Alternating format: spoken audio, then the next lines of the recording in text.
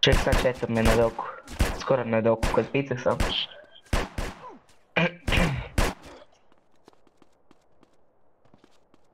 Jesi ti mi